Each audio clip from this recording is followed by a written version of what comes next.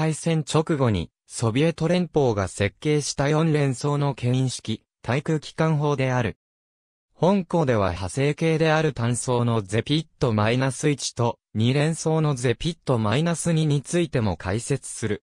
ゼピットシリーズは、不評用に開発された、口径 14.5mm の KPV 重機関銃を対空用の重火に搭載させる形で開発された。口径が 20mm 未満のため、機関砲ではなく、機関銃であるともされる。形式名のは、ロシア語で対空機関銃化を意味するの頭文字を取っており、その英自転車がゼピットとなる。ゼピット -4 とゼピット -2 は1945年に、ゼピット -1 は1947年にそれぞれ開発が開始され、1949年にはゼピットシリーズはすべて正式採用された。ゼピットシリーズの重心は空冷式で容易に交換が可能である。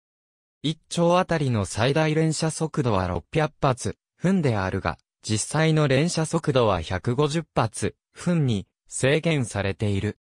弾丸には BS41 小位鉄鋼弾、BZTA 高小位鉄鋼弾、ZPA 高小位弾の3種類が用意されており、1丁に月1200発が弾倉に装填される。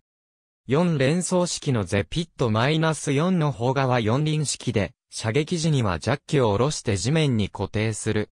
そのため、射撃と移動の準備には、それぞれ15から20秒程度かかる。ただし、ジャッキを下ろさなくても、射撃自体は可能であり、精度低下を許容できれば、応急射撃を行うことができる。2連装式のゼピット -2 の砲側2輪式で、2種類、存在する。前期型は、大型の泥除けがつく二輪式トレーラーと三脚型砲画に分離するようになっており、射撃体制に入る際にはトレーラーから砲画を地面に下ろす。後期型は砲画に車輪が一体となっており、車軸を折りたたんで砲画を設置させる分、射撃と撤収の準備時間がやや短くなっている。ゼピット -2 後期型の砲画は、図 -23 から2にも流用されている。単装式のゼピット -1 は二輪式であり、不正地同時には、それぞれ 80kg 以下の部品に分解して輸送する。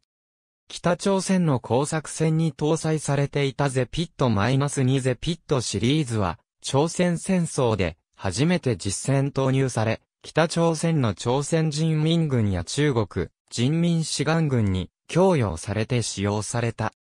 ソビエト連邦軍では、1960年代より、威力と有効射程高度を強化した図 -23 から 223mm 大口径機関砲が開発され更新されたが、退役後は世界中の東側諸国や共産ゲリラ組織に供与されている。ベトナム戦争においても北ベトナム軍や南ベトナム解放民族戦線が使用し、アメリカ軍のヘリコプターに対する一大脅威とみなされた。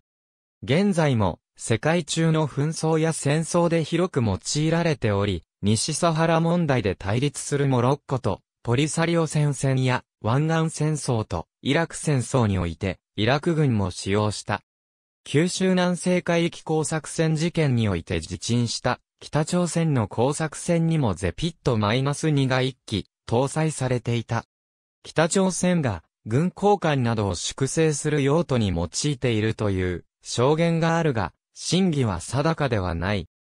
弾丸はブルガリア、ルマニア、ポーランド、エジプト、中国でも生産されている。ゼピットマイナス -1 正面から見たゼピットマイナス -2、この他にも各種の走行戦闘車両の屋根やトラックの荷台に、ゼピットシリーズを搭載して、即席の自走式対空砲とすることも多い。これらは正式な自走式対空砲の取り扱われ方と同様、実際の戦闘においては、不評や非走行車両といった地上の敵に対して、機銃操作を行うために用いられることも多い。レバノン軍は M113 装甲兵員輸送車にゼピット -2 もしくはゼピット -4 を搭載し、自走式対空砲としている。2011年リビア内戦やシリア内戦においては、ピックアップトラックにゼピットを搭載し、テクニカルとして使用した例が多い。ここでは、ゼピット -1、ゼピット -2、ゼピット -4 の個別の性能を列挙する。ありがとうございます。